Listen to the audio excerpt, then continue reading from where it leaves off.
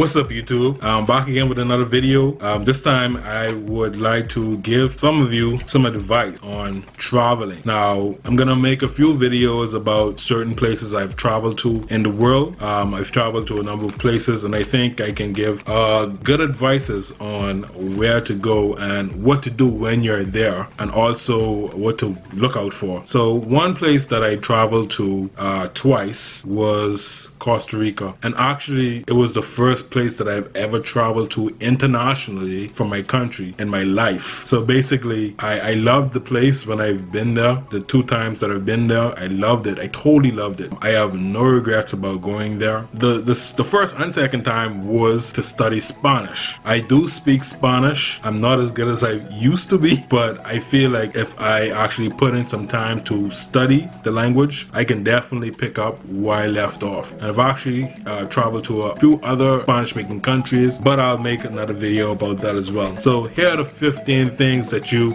need to know before you travel to Costa Rica. Number one, Costa Ricans have gates on their houses. Every house you see around, they have gates on their houses, right? So basically, you see in, in North America, people don't necessarily put gates on their houses, or you, you see rich people do it, but normal people don't necessarily do this. And also, you don't see normal people or normal families or residential uh, areas or housing put gates around their houses. They usually leave their house ungated. Sometimes it's because of the mail person. They have to drop off the mail and also because they feel safe. I guess, I'm guessing, I'm not saying this is a fact, but I'm guessing it's because some of criminality or crime going on. Costa Ricans want to be safe from any illegal activities going on. So basically, they do that. Number two, uh, when you enter a bus, you have to make sure that you never actually when especially when the bus is full. When the bus is full you never get out of the bus to let someone else on the bus. So i did this one time when i was there. I was traveling from uh, alajuela to heredia uh, just to visit some families that i've actually known there. So i got on a crowded bus. I was the last person to get on. So you would imagine that i was standing at the entrance of the bus. And i what i didn't know that every bus in costa rica has two bars on the side of them. So when you enter the bus the bar counts you as one person right? And you pay the driver. So when i entered and i paid the driver of this crowded bus and he let me on let me stop at another bus stop and someone else was coming off. So i being polite wanted to let the person off. So i got off of the bus and as soon as i tried to get back on the bus the bus driver stopped me right there. He said ah you have to pay again. Basically he said it's in spanish. You have to pay again. Said i didn't know. I mean i'm a tourist right? Turista. I'm a tourist. I don't know these things. So basically i don't think i paid again. I think he let me back on the bus. So that was one of the things that you have to look out for when you're traveling to costa rica. Also now number three the bus drivers can be a little bit mm, what do you say? Not nice especially when they, they don't like you asking them questions. They'll tell you to they wouldn't tell you to go away but they sometimes they won't answer your question when you try to ask them a question or they'll try to ignore you or shoo you away. Now i'm not saying this is the is the attitude of costa ricans i'm just saying this is generally what I seen happen when I interacted with bus drivers in Costa Rica. Costa Rica isn't necessarily a black country. I don't want to even bring race into this. I don't think they are being racist at all. So uh, get out of your mind. I just think that um, in general, bus drivers are not nice. Number four, you know, in North America, they have street signs on every street. So this is called like Martin Luther King Jr. Street or something like that. Not in Costa Rica. They don't have street signs on their roads. So basically, you'll have to know exactly where something is to get directions or to know where to go. For example, if you get directions from a Costa Rican, they would tell you that you need to go 50 meters this way and you'll see a a car there that's color blue or you go uh, 50 meters down the right here and turn left and then you'll see a tree huge tree there a mango tree. Then you turn the left and uh, it's kind of confusing. It can be confusing if you're especially not um, used to that kind of directions or of course if you don't speak the language. But um, yeah it's just a different thing. It's not bad but it's just different. And I, I like I like being in different cultures where you can learn different things about the culture. Number five, do not throw your toilet paper into your toilet bowl. This is a very important concept because their toilet bowls can get stopped up by you doing that. Now, I don't think this is true in hotels that you might visit, uh, very high-end hotels or five-star hotels or very nice hotels. But if you're staying with a family, if you have a family that's hosting you in Costa Rica, don't throw your toilet tissue number two or number one. Don't throw your toilet tissue in the toilet bowl. You throw it in the garbage bin beside the toilet bowl. They call it basura basura means garbage. So you, you throw it in the garbage bin beside the toilet bowl when you finish doing your business, whatever you're doing. So yeah, just keep that in mind. And that's actually a real thing. Like you don't throw the toilet tissue in the toilet bowl. Number six, crazy drivers. Bus drivers drive crazy. Regular citizens drive crazy. Don't try to cross the street when there's a lot of people actually driving past you. You have to be very careful. I was traveling to a Spanish speaking country, not Costa Rica, but another country. One of my friends and I were crossing the street. She was taking a, a long time actually crossing the street. And my other friend, the guy, he was, me and him had crossed already she was taking a slow time. So when she was about to cross and she didn't notice, the bus was actually about to hit her. Like he was not stopping. So she jumped out of the way really quick and like she almost had a heart attack basically. Uh, we told her that you have to be very careful because in Spanish speaking countries, and this is generally I, am not saying this is all not all all but some. This is not the rule for all people but this is a rule generally. You have to be very careful in spanish speaking countries. And costa rica is no exception. Be very careful when crossing the street. Look both ways. Definitely don't cross if you see a car coming because they will try to hit you. Or not try to hit but they won't stop. And they they think they're basically uh, pedestrians don't have the right of way in Costa Rica, basically. So you have to be very careful. One story I, I, like to relate is I saw a woman driving a car and she put her turning signal to turn right, but she turned left, and it was just crazy. And I seen many car accidents happen before my eyes when I was in Costa Rica as well. Next one, number seven. Dogs and cats roam around everywhere. Now, because I'm from a different country, I didn't know, like, I wasn't used to uh, a dog or a cat walking into a restaurant where people are eating. Like, not a restaurant that's, you know, open or it's an outside restaurant where you can sit outside. No, cat and dog walk into the restaurant, roam around, sniff, sniff, sniff, whatever they get. I guess people feed them, I don't know. But um, yeah, it's, it's a thing. And also, I like to relate the story where I went to um, a church service, a Catholic church service with one of my host families and they allowed me to go with them. I'm not a Catholic, but I was being just pol polite, tending with them. So when we went into the actual church, uh, we were sitting there, everyone was sitting down. The dog came into the church, um, roamed around a little bit, went on the altar, and no one even bat an eye. They didn't bat an eye at all. No one cared. and I was so surprised. I mean, the church service is going on and he walks up onto the altar, no, that would not happen. That dog would be stoned in my country.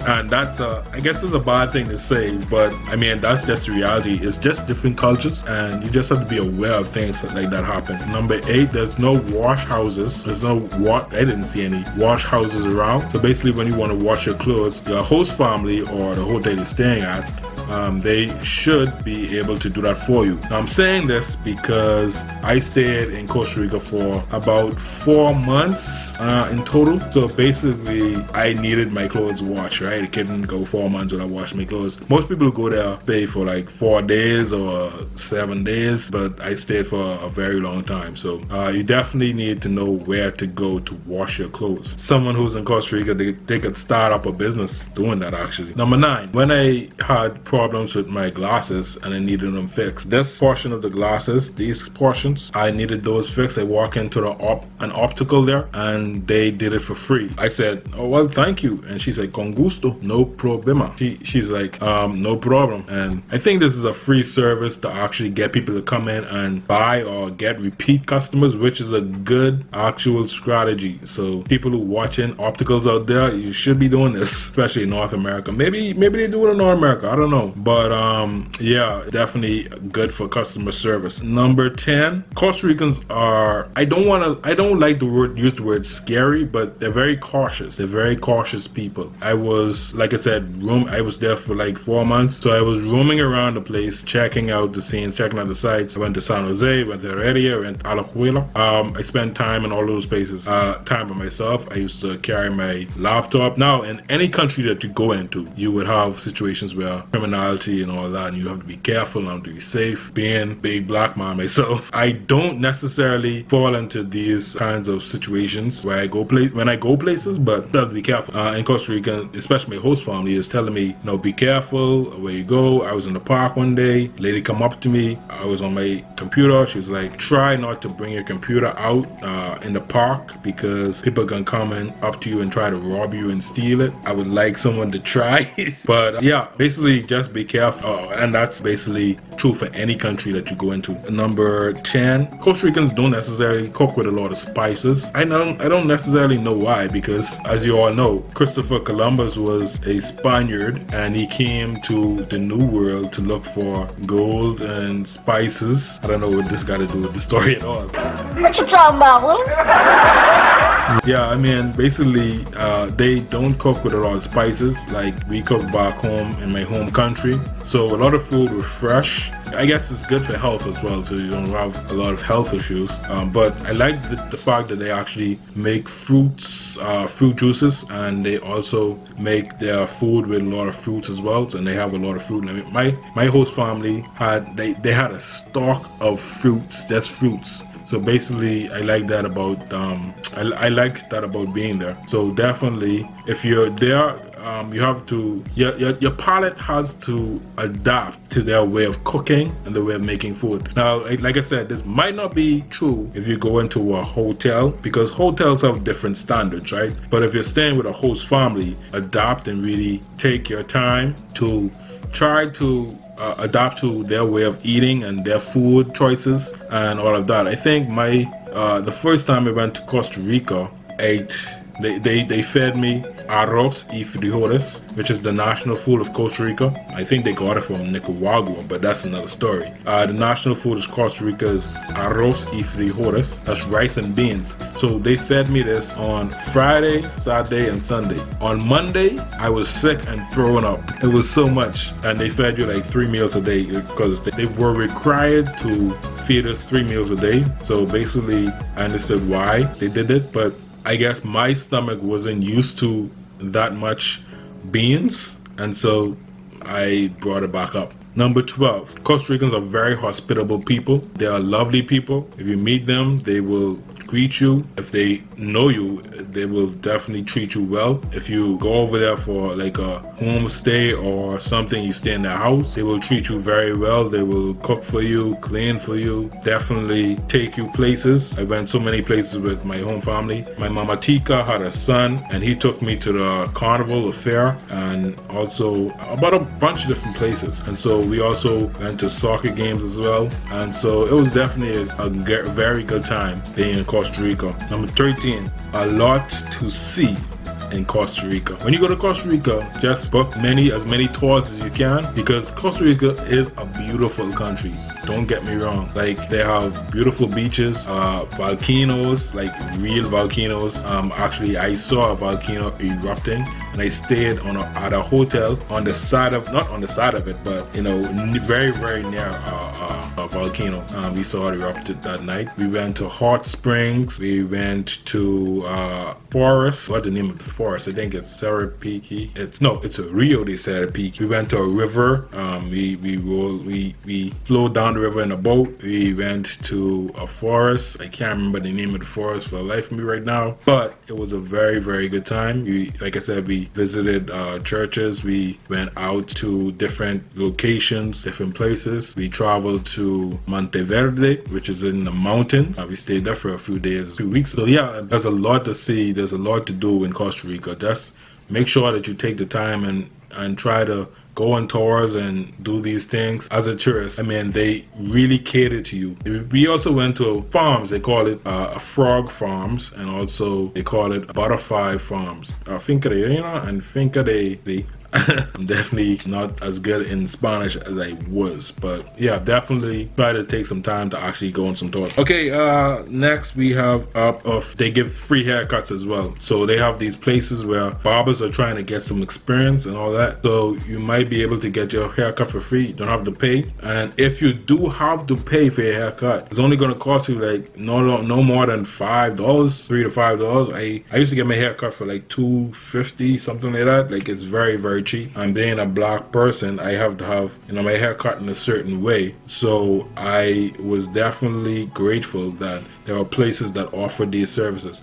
So I got my haircut for free once, but all the other times I got my haircut by a professional barber uh, for very very cheap like for maybe little to nothing. Uh, also so number 15 number 15 last one. Uh, living in Costa Rica is very cheap. Like you can get fruits vegetables very cheaply. You can eat very cheaply you can live very cheaply I think even apartments go for maybe two to three hundred dollars a month just for which for the standard of living in North America is very very good so just keep that in mind that you can actually live very cheaply in Costa Rica. But there's a flip side to that. If you work in Costa Rica, you're not going to be paid very um, well. You're not going to be paid, you're going to be paid well, but you're not going to be paid on the standards in North America. You're going to be paid to a level whereas you can live off of it. So basically, just take your time and uh, look for those certain jobs that you actually would like to live good compensation off of. Other than that, Costa Rica was amazing. It is amazing. It's an amazing place to go. Um, if you ever have the opportunity, just visit there for one time. You have to be careful when you're leaving to make sure that you save 25 uh,